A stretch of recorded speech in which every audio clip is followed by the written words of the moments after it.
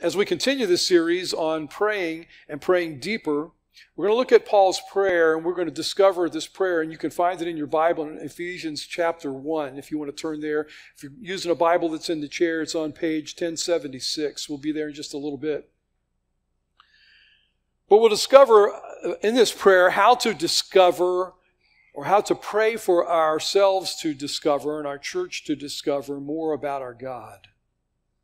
Um, Christianity begins in a person's life, your life, my life. Uh, when man, woman, boy, girl, when we discover, we, we come to this realization that I'm a sinner. I wish, I wish I could change that, but nothing that I found seems to work. You know, how many of you have made on, you know, New Year's Eve, you make those New Year's resolutions, you know? And, and I know you do because the first, the second day of the year, you drive by the YMCA and the parking lot is slam packed. Because every, my New Year's resolution, I, resolution, I'm not going to ask how many of you asked this or said this, is this year, I'm going to lose weight. You know, so they start out you know, the first day of the year and they're working really hard at it. And, and by the middle of February, it's back down to 50% full in the parking lot. People have given up. We try everything that we can to, to change things in our lives, but nothing seems to work. And then, then we become open to the life changing good news, the gospel that tells us Jesus died on a cross to transform us from being hopeless in our sin. And he wants us to, wants to give us freedom from that old nature. And the moment we believe, here, please hear me, the moment we believe and accept Jesus Christ as our Savior by faith, listen to me, everything changes. Massive change. It's like, like a tsunami sweeps over us, and the tsunami of grace and the tsunami of change sweeps over us. And that change is immediately initiated. The Bible calls it a new birth. And you may not have realized it at the time. We talked earlier this year, we did a series on the Holy Spirit, but you may not have realized it at the time, but the Holy Spirit comes in to your life at that very moment and sets up his residence in you. You become his sanctuary. This building, this room is not a sanctuary. We are his sanctuary, right? This room is nothing but a room until we show up and the Holy Spirit is here with us. God is present with us, um, in us, and that's what makes this time together on Sunday morning so special because a whole bunch of people possessing the Holy Spirit come together to worship God. He begins to move in and he begins to, one of the things he does is he begins to clean house. And from the inside out, he cleans and he removes all the wrong behaviors and the habits and self image. And, and he, he cleans all these things up and replaces those things with Christ. And he begins, because it's a, it's a moment by moment, day by day transformation. You may not see it all of a sudden, but sometimes it's just a gradual thing that's taking place. But let me ask you a question. Have you ever found that you wrestle, and maybe even sometimes even resist those changes that God is bringing into you and into your life? You ever found that you wrestle with those things, that you resist those things? I do. The Bible has a hashtag, if you're taking notes, for that process of change, and it's called sanctification. Sanctification. It's the middle part of a three part salvation that you and I have as Christians. And all three come to you and me as a package with your faith in Jesus Christ. It's not like, you know, it's, it's, um, we only get justification, which is the first one. It's not like that's all we get we get this package. The first one is justification. Justification is instantaneous. It happens the moment you believe in Jesus. Boom. I accept Jesus as my Savior. Jesus Christ, I believe you're the Savior. I'm a sinner. I need you. I receive you as my Savior. And at that moment, you may not feel a thing. It's not a feeling. But at that moment, God pronounces you not guilty of all your sin. He grants you forgiveness. He gives you reconciliation with Him. And He guarantees you His everlasting life. Paul wrote in Galatians 2, verse 16. He said, We know that no one is justified by the works of the law. In other words, even if you were able to keep the Ten Commandments, that doesn't justify you. Right? Because you're not able to do that. That's the second part of that. Doesn't matter how good you are, how good of a Boy Scout you are, doesn't matter. You cannot justify yourself by your deeds. He says, but it's by faith in Jesus Christ. That's the first part of our three part salvation. The third part is what is called glorification. And glorification is not something that you and I experience until we die. And when we die, we immediately, at that very moment that our heart stops beating, we stop breathing, our brains cease to make waves, the very moment that we are dead, the Bible says in 2 Corinthians 5, verse 8, to be absent from the body is to be where? Present with the Lord. That's glorification. It's the change from living life here and now in this body, in these circumstances, to being like Jesus because, as John said, we'll see him face to face. Now, none of us are there yet. We, are not living glorification yet. We haven't experienced that yet. And some of us might today. Could be true, right? We don't know when we're going to die. But that's going to happen when we face death. 1 John chapter 3 verse 2 says, "We know that when he appears, we will be like him because we will see him as he is." We'll be like him, glorified. That's glorification. That's the third part of our salvation. The second part, in the middle, in, the, in between the sandwich there, in the middle of the sandwich, is sanctification. If you are Christian, sanctification is what is happening to you right now. Every Christian at this moment that's taking place. And here's where every Christian is. If you're a Christian here today in this room, this is where you exist today in the process, this three part process of salvation. You've been justified. Your home is eternal in heaven already. God promises you that. You're going to be in heaven. He promises you glorification. Right now, He's sanctifying you. It's where we are right now. And it, it's a process that starts the moment that you're justified and lasts as long as you live. There's no retirement from this process of salvation. Well, there is. And if you want it, it's when you die. Right? Other than that, it continues on as long as you live.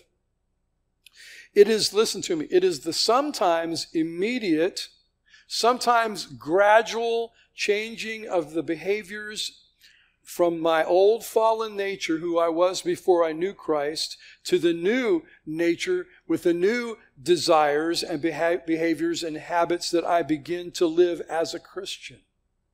2 Corinthians 7, verse 1. Paul says, Because we have these promises, dear friends, let us cleanse ourselves from everything that can defile our body or spirit. Let's get the stuff out of our lives Let's turn away from it. The Bible calls that repenting. Let's get rid of that stuff. Let's turn away from those things that defile our body or spirit and let us work toward complete holiness because we fear God. Now, it says we work toward it. We cannot work toward it on our own. It's an act of grace. It's something that we do in cooperation with the Holy Spirit as He brings these things about in their lives. And we begin to leave behind and, and even in some regards, and some of you could give testimony to this, we even begin to despise our old way of life and we seek out the abundant life that Jesus says is ours. And this is our goal, Christian. It's the goal of every Christian to be holy and conformed, Romans 8 says, to the image of Christ. It raises a question to me about this whole process of change from the time, for me, I was 10 years old until the day I die, this sanctification it, it raises a question to me is uh, why are some things changed immediately? Because some of you could say, man, the moment I accepted Christ, things, there are some things I stopped doing at that moment. Praise God. I, I've heard stories of drug addicts. I mean, hardcore drug addicts who accept Jesus as Savior and never take another pill or take another shot. Never. From that moment on. You say, is that possible? That's impossible. Well, it's, it's a God thing. You know, and with God, all things are possible. Right?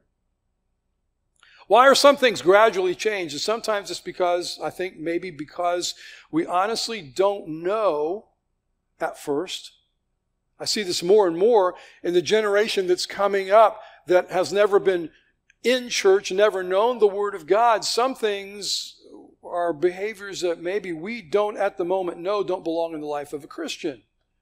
Cultural morals are constantly changing, aren't they? And, and, and, I know in our country, gravitating away from the biblical morals that our nation was built upon. And so things that the Bible pronounces as, oh, those are old nature things, those are sinful behaviors, are, are now viewed predominantly, it seems, in our culture, in our society, as, as being okay and acceptable and, and even right.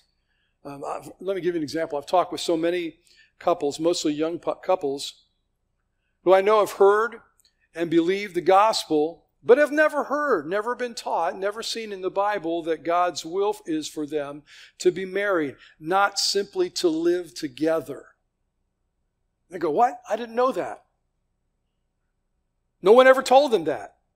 And I believe, because I have a lot of faith in our young people, I believe that, that uh, our young adults would rather know the truth than live in ignorance. That's what I'm hearing.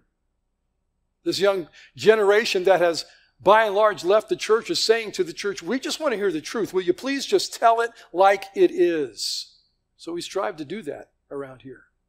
So when they ask me, well, well Pastor, what do we do? I'm, I'm, I'm Christian. We're Christians, but we're living together. We're not yet married. What do we do? And the answer is simple. I say to them something like this. Well, do you want your life to please God? And of course they nod. Yeah, yeah, I do.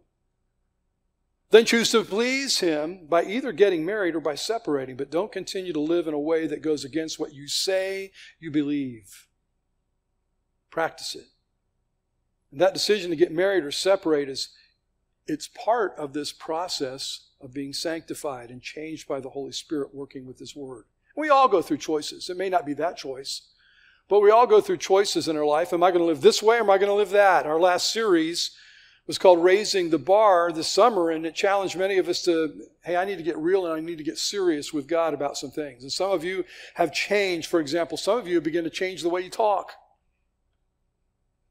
Some of you have determined to fight for the life of your marriage. Some have fought forgiveness uh, uh of, of things uh, that maybe you wronged with other people, and, and, uh, and, and some have determined to fight to save uh, you know, other things in your life. And, and so some of the changes the Holy Spirit makes in our lives over time take time, they're gradual. But what we discover with this prayer of Paul's today is that prayer plays a big part in our lives being changed. In our sanctification, prayer is part of it. And the kind of prayer that I'm talking about today, that Paul prays today, is asking God to help you and me and help our brothers and sisters in Christ to become the women and men that He wants us to be. And by praying, we're saying to God, here's what we're saying to Him when we pray these prayers God, I can't do this on my own. You don't have to raise your hand, but are there things in your life right now that you wish were changed? And you know, I cannot do this in my own strength. Of course, there are. I can't do this on my own. So, God, I'm asking you to do this for me. I'm asking you to do this for us.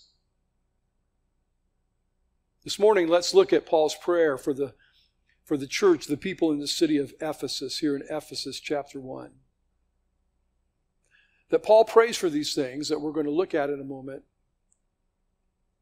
He prays for these things to happen in the believers' lives, by the way, tells me something in your notes. It tells me that we can't take change for granted. Don't take it for granted. Just say, well, if it happens, it happens. Paul prays for these things to happen. Just the fact that Paul is praying for these things in the lives of the church tells us this prayer changes things, doesn't it? Otherwise, why do we pray? Prayer changes things. You might jot this down if you're taking notes. This might have been a better point that, that we grasp a little bit. But the Christian life is not lived on cruise control. We have to sometimes step on the gas. We have to sometimes step on the brake. Right? It's not lived on cruise control. I can't grow and become faithfully what the Lord intends in my life, hear me, Christian, by simply attending a church service every Sunday or even every so often.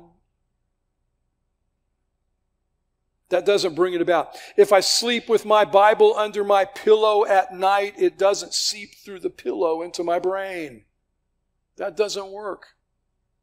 So, in your notes, the church needs to pray for and encourage one another to be constantly changing. Right? Here's the kind of prayers we should be praying. constantly changing. So here's some things that make for a deeper prayer life. Number one, we need both the practical and the supernatural. And by the way, they both come from God. We need both the practical and the supernatural. Both come from God. Here's what Paul says in this prayer. I pray that the God of our Lord Jesus Christ, the glorious Father, would give you a spirit of wisdom and revelation in the knowledge of Him. Here's what he's praying. Here's what he's saying there. You cannot mature and you cannot become Christ like in your own strength. It takes prayer. It takes God working in your life. Holiness in our lives comes from the power of the Holy Spirit working in us. Did you get that? Holiness comes from the power of the Holy Spirit working in us. And Paul starts with two things that we must gain from the Spirit. Those two things are wisdom, he says, and revelation. Wisdom, what is that? Wisdom turns knowledge into life practice. It's not just knowing, it's taking that knowledge and turning it into behavior, turning it into what we do and how we think. Someone who has lots of knowledge but never seeks wisdom. And there are a lot of people like that. They know the Bible backwards and forwards, but they have no wisdom. They'll become, if you do that, if all you do when you study the Bible is seek knowledge, you become a spiritual egghead. You know, you'll have all this, you'll become, you know, blown up in your brain with all the knowledge you have, but it never gets into your life. You become so spiritually minded that you're no earthly good. The Bible tells us to seek wisdom. Proverbs chapter 4, verse 7. Where do we get wisdom from? Well, one place we get it from is here. Wisdom is supreme. So get wisdom, and whatever else you get, get understanding. Understand what you've learned and put it to uh, application in your life. And then where does it come from? Wisdom comes, Job wrote, comes with years and experience. Wisdom is found with the elderly.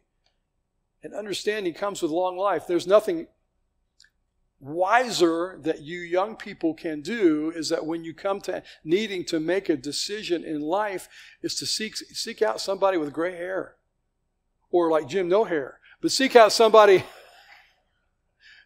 you know, either hair's turn gray or it's turned loose, one or the other, you know, but seek out, out the, those folks. That's what the Bible says. It comes with age. It comes with long life. Why? Because people who have lived long lives have lived life. And they've made some mistakes.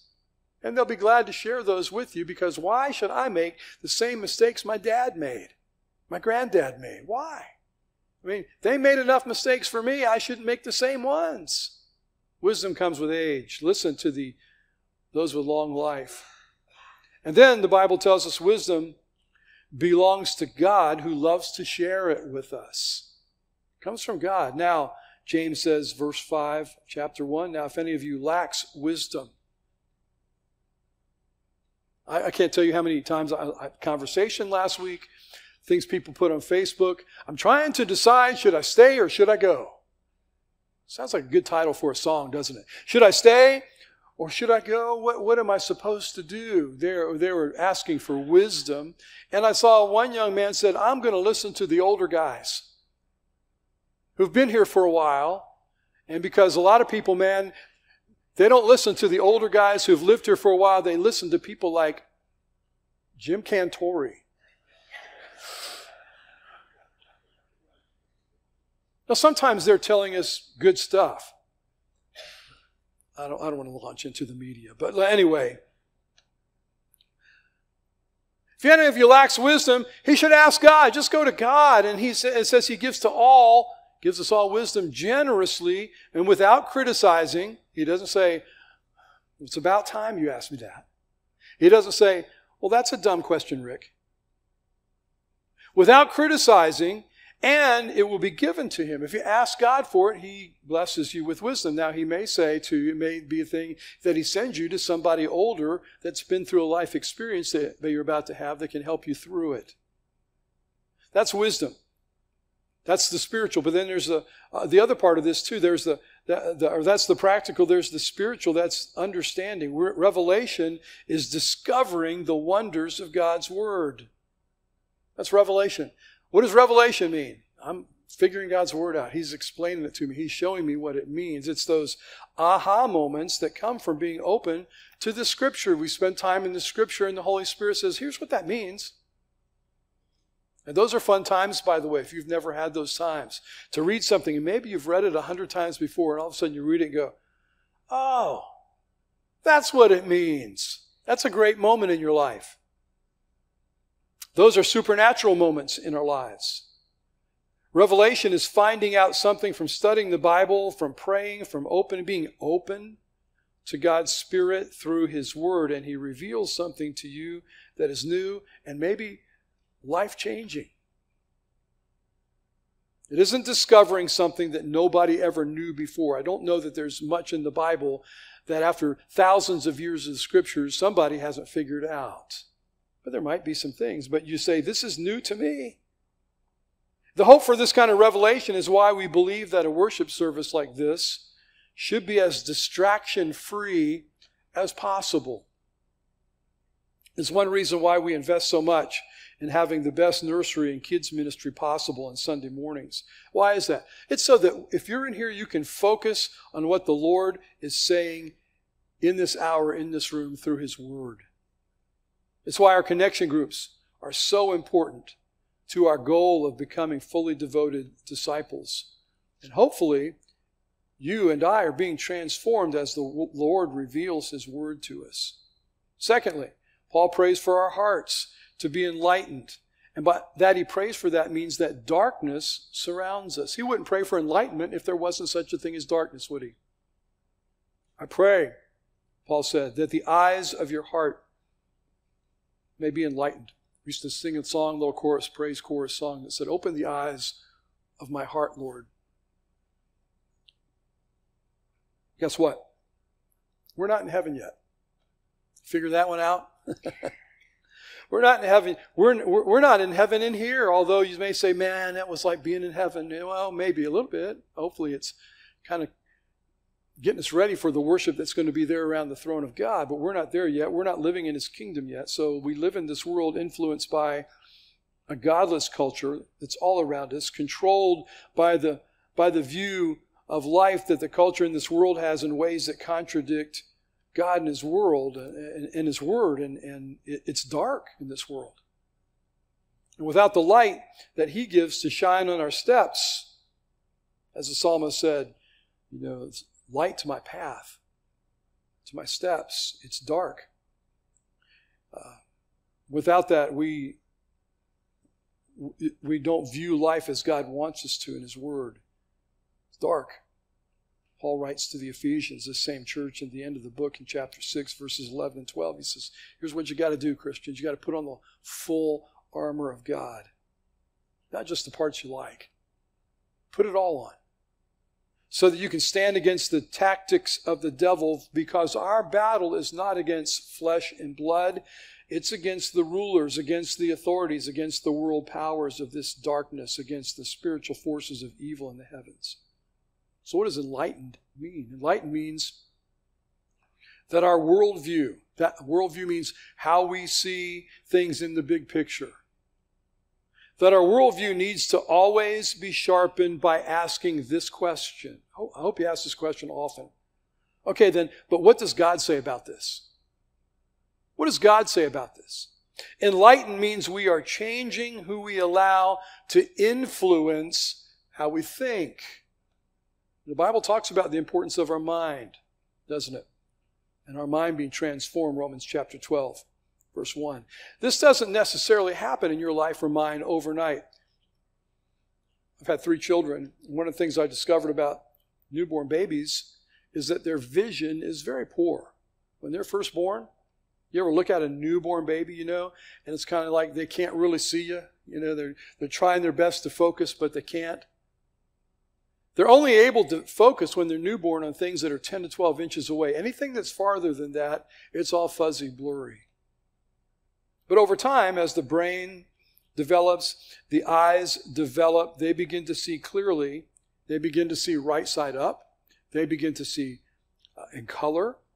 And uh, so, so Paul's saying this enlightenment, opening our, uh, the eyes of our hearts, this enlightenment means we should pray for each other that we can have clear spiritual vision as we grow and live in a world full of darkness and moral cultural fog. Do you pray that for one another? Number three, we pray for the hope of his calling so that you may know what is the hope of his calling. Now, who doesn't need hope? Everybody does. Some more than others, but everyone needs hope. It's the promise. What is the hope of his calling? It's the promise of everlasting life. That's the hope of his calling. Why then do we need to pray for one another to know that hope? There's a really good chance that in a room like with this many people in here this morning, there's a really good chance that there is someone this morning who is struggling with doubt. And maybe that's why you came to church this morning, struggling with doubt. You, you may know that you have received Christ as your Savior, and you probably know that He's made a promise that belief in Him guarantees you eternal life, but you're doubting. John 5, 24. Read that with me. Let's read it together. This is a great promise. I assure you, anyone who hears my word and believes him who sent me has an eternal life and will not come under judgment, but is passed from death unto life. I promise you, you have eternal life. But for some reason, maybe you're here today and you're having doubts. Maybe it's because you've done something committed some kind of a sinful act, or you're in a habit, whatever it might be, that in your mind is so bad that certainly God can't even keep his promise for you. Maybe your spiritual life has been stuck in neutral for a long time and you just feel like I've lost all connection with God. It's kind of like I'm, I'm afraid to pray because I'm afraid if I say, Dear Heavenly Father, He might stop me and say, And who are you?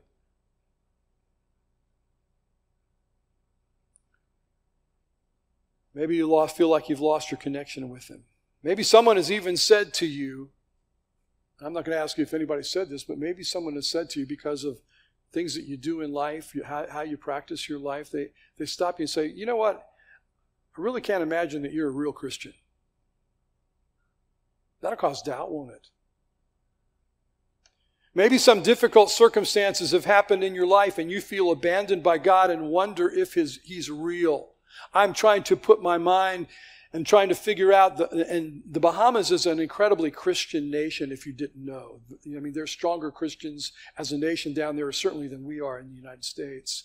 But I wonder if I was on the island of Abaco or Freeport, those places that just got wiped out and I survived, I wonder if I wouldn't say, you see, all these years I've been believing God and look what God does to me. I don't know that He's real. I don't know that He cares. Maybe some difficult things have happened in your life and you feel abandoned by God and you wonder if He's real and your hope is dwindling.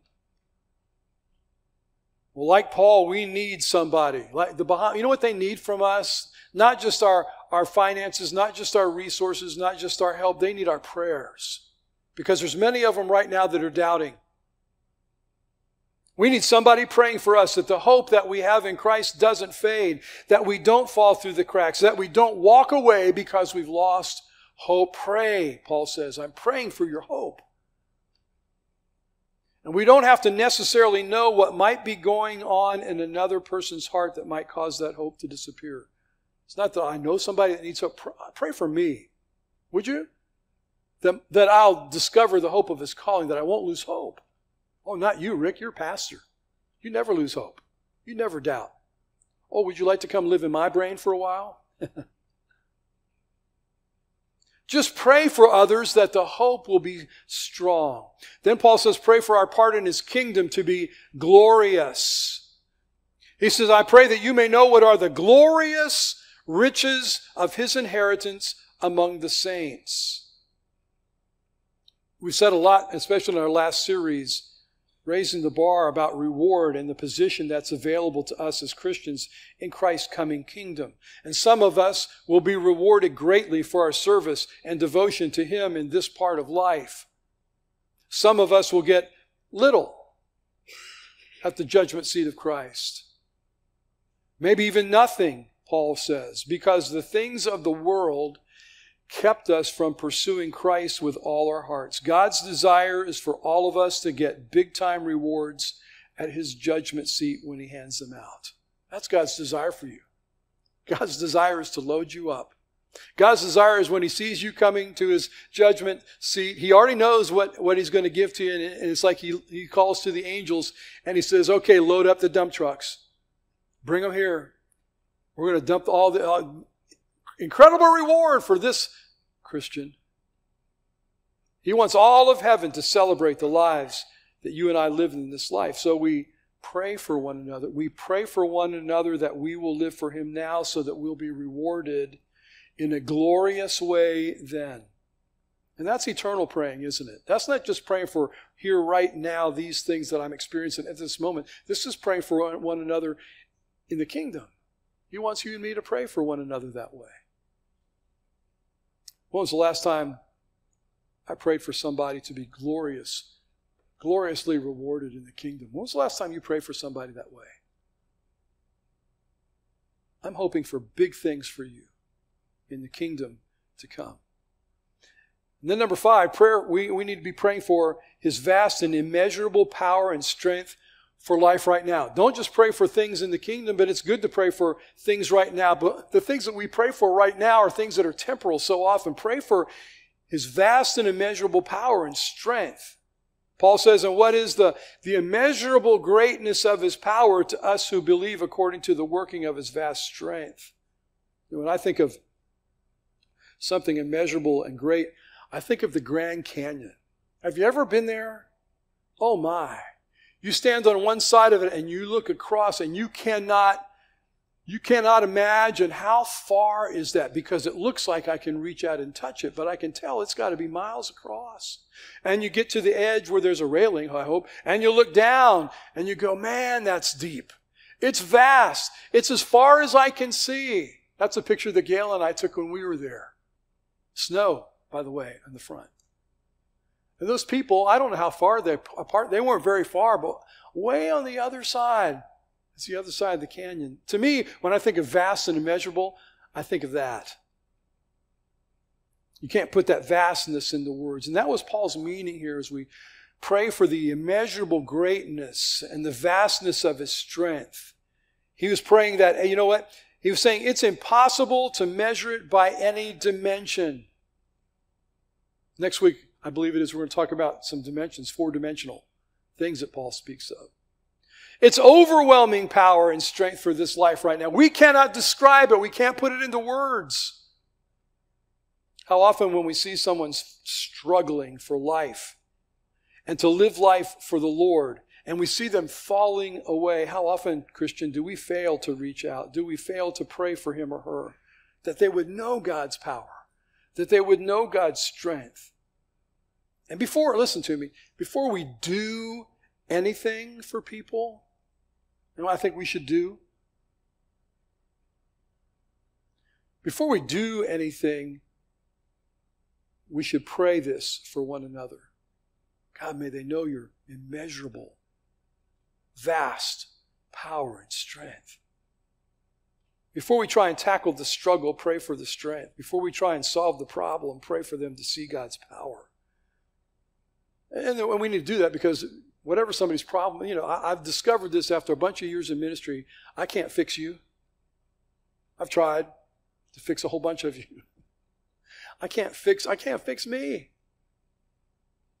But there's nothing that God can't fix.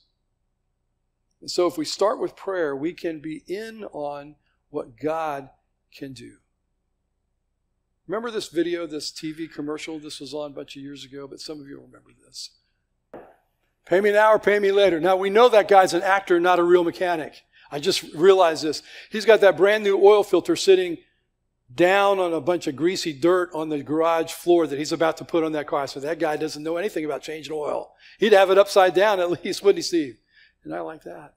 But what is he talking about? You, have you heard the term? I think Volkswagen invented this term, preventive maintenance.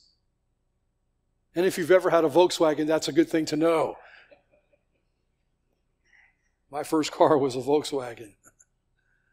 Seems as though we're quick, preventive maintenance in the spiritual life, it seems as though we're quick to pray for things that are broken. And it could be things at home. How many of you had to pray for your generator? you know, we pray for things that are broken and need to be rebuilt. rather than praying for the spiritual growth and transformation that will prevent some things in our lives from taking place. We wait until it's busted. And sadly, it seems as though those of us who are in trouble in our relationships, in our finances, in our commitment to Christ, it seems as though we'll wait until the water is over the bridge, until the dam breaks before we reach out to help for help. We'll get the call at church. Pastors get the call. Our counseling team get the call. And, and we'll hear this from people. It's too late to save it. It's too late to fix it. And I want to say to them, why did you wait until it was too late? Why? Paul knew these Ephesians that he's writing to, these people there in Asia Minor. He knew they weren't perfect. He knew they struggled with temptation and persecution. He knew they struggled with spiritual laziness like all Christians do. How, how did he know that? Because he spent a lot of time with these folks. So he prays this prayer of preventive spiritual maintenance for them before they fall between the cracks. And so this kind of prayer means this it means we're praying proactively, not just reactively. And let's be honest, most of my prayers, most of your prayers, I bet, are reactive prayers. We hear about somebody's tragedy. We hear about somebody falling away. We hear about this and that going on. And then we begin to pray for them. Rather than before it ever happens, we just are praying these kinds of things for one another. There's prayer. There's prayer because we care. That's why we pray. So let me ask you a question. When was the last time you prayed like Paul in this prayer for somebody else? I pray that the God of our Lord Jesus Christ, the glorious Father, would give you a spirit of wisdom and revelation in the knowledge of Him. I pray that the perception of your mind may be enlightened so that you may know what is the hope of His calling, what are the glorious riches of His inheritance among the saints, and what is the immeasurable greatness of His power to us who believe according to the working of His vast strength. When was the last time you prayed something like that for somebody?